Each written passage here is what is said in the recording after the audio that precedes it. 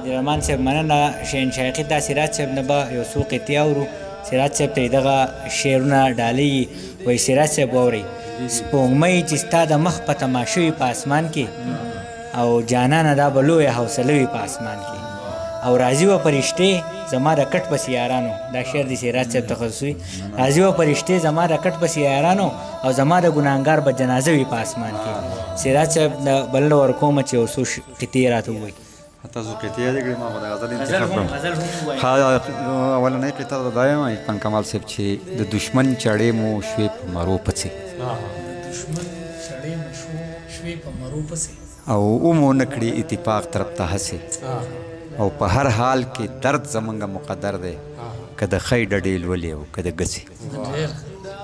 اوله قطه ده چې شپېته کاله ژوندون خو څه وړه تجربه نه ده د هر سړي د مینې پرسنټیج راته معلوم دی د ژوند تودو سړو را باندې ډېر څه زده کړي په دغه کتابچه کې هر یو پیج راته معلوم دی او ستا د نازونو اداګانو لږې ستا د نری نری خندا به وشم نو د ژوند نه ځکه مزې اخلم چې زه څه شوتل نه یم چې بیا به او داسې پیمانه د حسن چرته ده څوک چې په د یار د ښایست تولو کې او ستا لشې لشې ازغي ازغي باڼه باغ ته لکه څوک د غنو شپو او چې مې یاد کړې په سر سترګو به درځم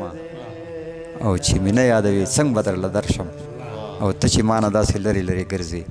زه به هم درنه جانانه مرور شم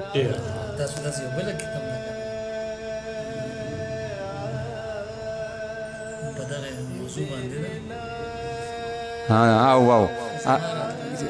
که زما راتلو چې زما راتلو ته دومره خوشحالېږي ګرانه زه به د چړو په څوکو درشم او ته چې ما پخلا کوي څومره مزه کړي کله کله درنه ځکه مرور شم او بله قطعه ده چې په پښته وطن کې څه بې وسه ورځې شپې کوم د وچ کې کر د ونې سوري ته دمې کوم د ګلستان غونچې د ګلو ګلچینان یوړې حیران ولاړ یم د ګلونو جنازې کوم او بله قطعه ده چې وخت سره بدلیږي تقاضې د وخت نن په منبر نوی بیان شوی دی او مخکې امریکا زمونږ خپله وه اوس د خیره روس مسلمان شي او دا خو د حمزه فرمایش وو د دې نه پس ما بیګا یو تازه کلام لیکل دی چې مزه غوندي چې وسم تا پسې جړېږم ولګ او د نارنج پشان زیړېږم ولګ لګ او ما ته وسم کله کله را یادېږي زه به هم درته یادېږم خو لږ لږ او خو په نیولی شم چې ستا په کوڅه وړم خو په نیولی شم چې ستا په کوڅه واوړم په شا وګورم ودرېږم